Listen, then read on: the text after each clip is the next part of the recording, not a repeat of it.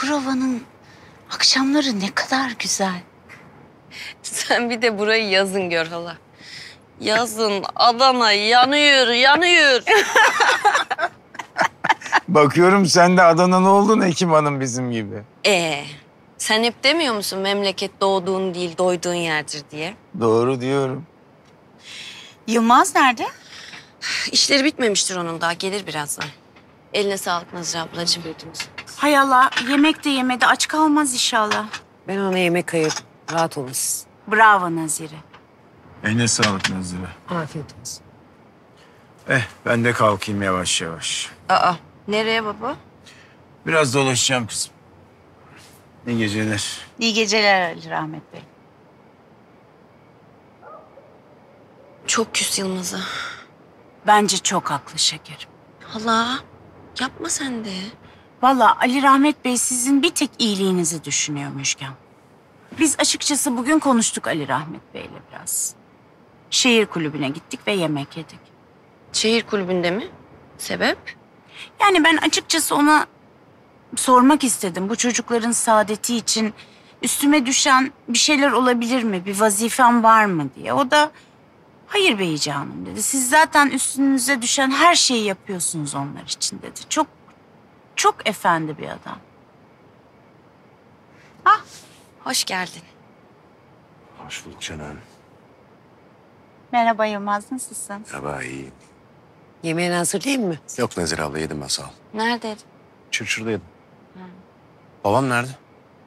Yok. Biraz dolaşmaya çıktı. Yılmaz bana düşmez ama baban sana hala küs. Gidip gönlünü al bence. Ben bir babama bakayım. Tamam.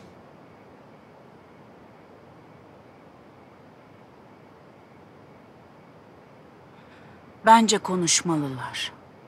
Gel, gel, gel, gel, gel. Heh, heh. Al bakalım. Al. Aç mısın sen?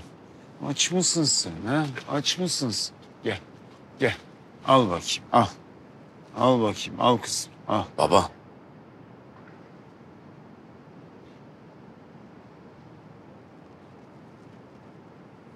Al kızım, al yavrum. Baba yapma böyle gözünü seveyim. Sen bana küs olunca benim içim kan ağlıyor. Haklısın. O yaptığım harekette seni saymamış oldum. Affet beni. Bundan sonra senin dediğin gibi. Uhuletle ve suhuletle.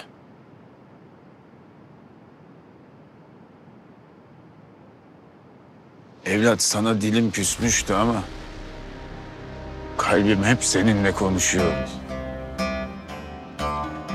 Uhuletle ve suhuletle. Söz mü? Söz.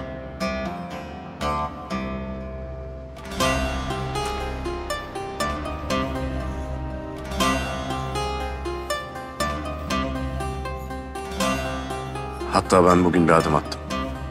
Ne yaptın? Hisselerimin hepsini sattım. Artık Demir'le ortak değilim.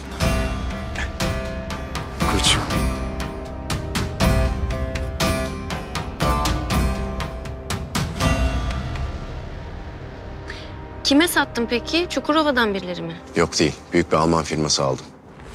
Çukurova yatırım yapmak istiyorlarmış. Konuştuk anlaştık. Ben de hemen devrettim. İyi yaptın evlat. Artık bundan sonra herkes kendi yoluna gitsin.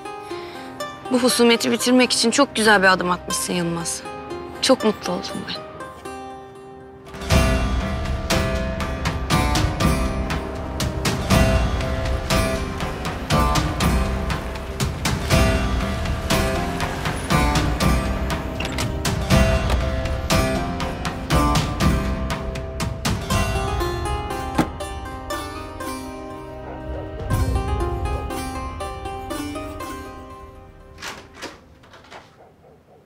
Züleyha, uyumamışsın.